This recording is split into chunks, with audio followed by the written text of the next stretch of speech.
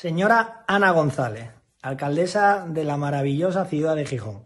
Me parece vergonzoso, vergonzoso y de muy poca ética moral prohibir la tauromaquia por dos nombres de dos toros que se han lidiado este año en la feria, feminista y nigeriano, dos reatas, que no sé si sabe usted lo que es una reata, una familia, en una ganadería, que llevan más de 50 años con esos nombres, que se heredan de madre a hijo y a hija, de gente que trabaja en el campo, que se dedica cuerpo y alma por mantener una especie, por disfrutar, por dar trabajo, por crecer, por fomentar, y que ustedes lleguen con una ignorancia que no le pega a una alcaldesa, porque se ve que para ser alcalde hay que tener un poquito de conocimiento.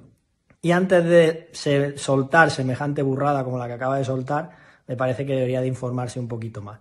Así que por favor, rectifique, que me parece vergonzoso. Dejen la tauromaquia tranquila, que la tauromaquia no es de políticos, ni de derecha, ni de izquierda, ni de centro. La tauromaquia es del pueblo, un espectáculo por y para el pueblo.